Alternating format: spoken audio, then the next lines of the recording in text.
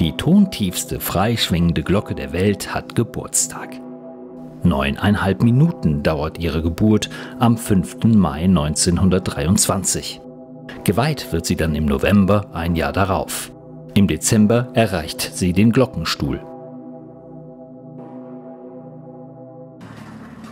Zum Geburtstag gibt es ein Geschenk. Clara kehrt als zwölfte Glocke zurück in den Dom.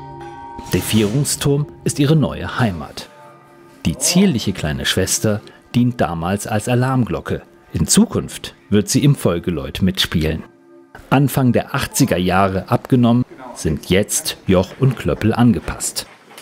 Das Kölner Domgeläut hatte bisher elf Glocken und diese Clara-Glocke, die wir jetzt haben aufhängen können und die das erste Mal ins Geläut des Kölner Domes aufgenommen wird, ist seit 400 Jahren in der Stadt Köln.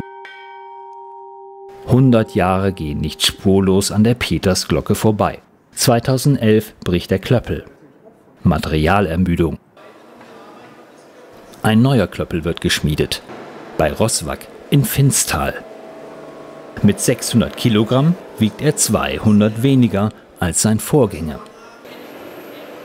Ende November gelangt er wieder in die Glockenstube.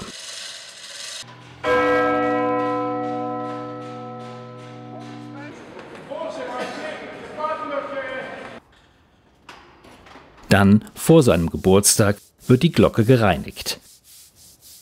Wir reinigen immer mit Bedacht auf den Erhalt der Patina. Das heißt, dieses Bild, wie man es kennt vom dicken Pitter, diese grün-schwarze Oberfläche, die ja als Edelpatina bezeichnet wird, beziehungsweise auch noch eine gewisse Schutzwirkung ausübt, die bleibt erhalten und in keinster Weise wird die beschädigt.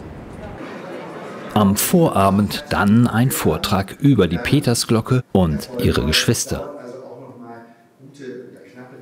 Am Ehrentag präsentiert sich die Glocke in neuem Glanz. Dank des Europäischen Glockentages, zu diesem Anlass extra in Köln ausgerichtet, begleitet die Feier ein umfangreiches Programm. Zum Abschluss eine Glockensinfonie. Liebevoll Decke Pitter genannt, entfaltet der 24 Tonnen schwere Bronzekörper das tiefe C, während Clara mit hohem G antwortet. Der Lebenslauf der Glocke ist in einer Ausstellung im Kölner Domforum festgehalten. Die Ausstellung, die wir hier sehen, ist unsere Ausstellung, die wir anlässlich des 100-jährigen Jubiläums des Dicken Pitters, wie er in Köln liebevoll genannt wird, gemacht haben. Wir sind die Dumbauhütte zusammen in enger Kooperation mit dem Historischen Archiv des Erzbistums, haben diese Ausstellung hier konzipiert, um die Vorgeschichte die Geschichte der Entstehung des Gusses zu dokumentieren, aber auch seine weiteren Schicksale in vier Kapiteln zu beschreiben. Sie ist aktuell noch bis Sonntag, den 7. Mai und dann erneut in den Sommermonaten zwischen dem 24. Juni und dem 6. August im Foyer des Domforums zu sehen.